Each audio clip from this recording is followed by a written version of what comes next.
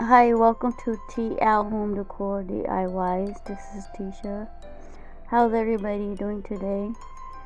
So, today's video is a pumpkin witch decor. So, let me get off here and let you watch the rest of the video. And I hope you have a sweet day.